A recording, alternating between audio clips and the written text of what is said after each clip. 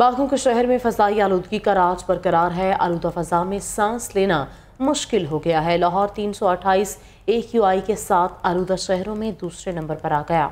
नजला जुकाम, खांसी और आँखों की जलन जैसी बीमारियाँ बढ़ने लगी हैं। मजीद जानते हैं अपने नुमाइंदे हाफिज महबूब अली से। जी बताइए। हाँ जी बिल्कुल फ़जाई आलूदगी की बात की जाए तो, तो लाहौर आज भी जो है वो दुनिया भर के आलूदा शहरों में दूसरे नंबर पर है जिसका एयर क्वालिटी इंडेक्स जो है तीन सौ तिरानवे रिकॉर्ड किया गया है जिसके बाद रात के वक्त जो है वो स्मोक और धुंध होने के बाद जो है वो मोटरवेज़ को मुकम्मल तौर पर बंद कर दिया गया था।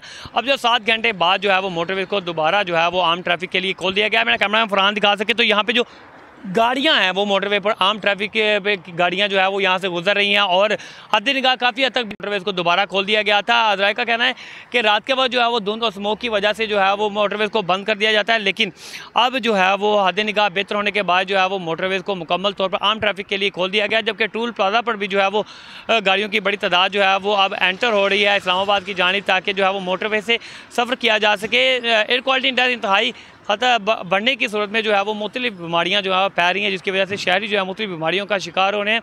दूसरी जानब महबूब अली, शुक्रिया आपका। आप हमें अपडेट कर रहे थे।